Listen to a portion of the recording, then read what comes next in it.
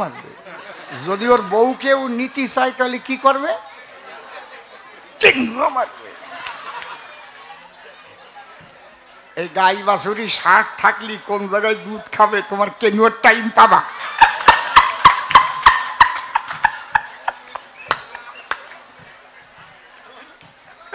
কায়দা আছে। কি? তুমি কেনিও মারবা?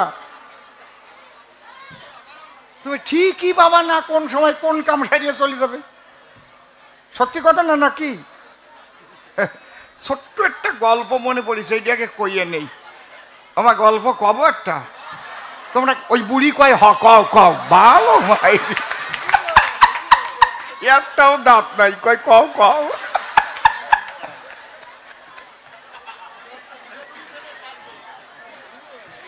না, শ্রোতা ভালো আছে আজকে। মেলা দিন পরে আমিও আইছি, আপনাকেও পাইছি।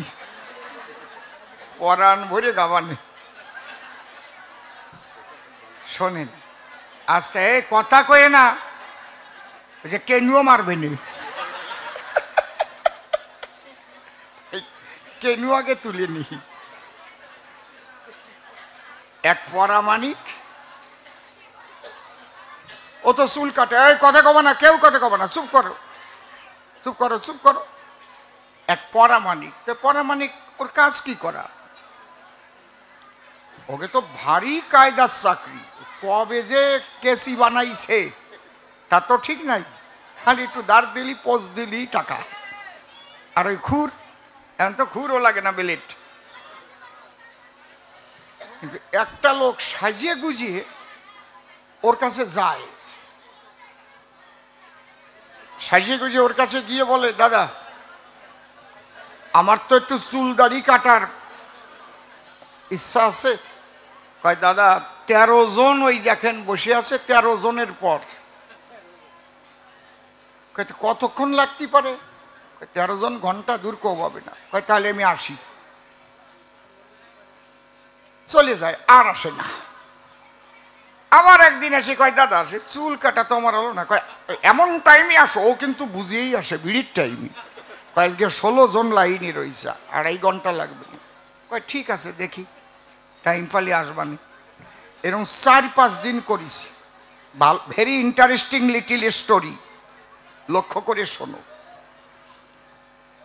এখন, এইরকম চার পাঁচ দিন আসে এসে চলে গেছে। আজকে আবার আইছে। ও দাদা আমার চুল দাড়ি কাটা হলো না। আমার চুল দাড়িটা কাটা হলো না রে দাদা। আজকে বাইশ জন রয়েছে লাইনে। ঘণ্টা তিনিক লাগবে। আজকেও হবে না। যখন চলে গেছে এখন ওই পরামানিকের একজন অ্যাসিস্ট্যান্ট আছে। ওরে কয় "এই, তুই আমার বাড়ি যা তো একটু। ওর বাড়ি যাইয়ে দেখে ওই পরামানিকের বউয়ের কাছে ও শোয়া।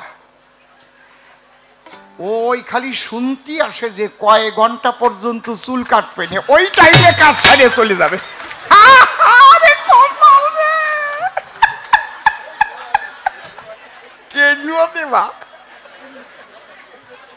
ঠিক টাইম মতো কাজ ছাড়িয়ে চলে যাবে।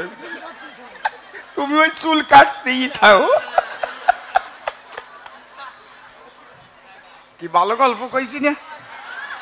হ্যাঁ তুমি তো একদম তুলে নিয়ে যাচ্ছ ইউটিউবে।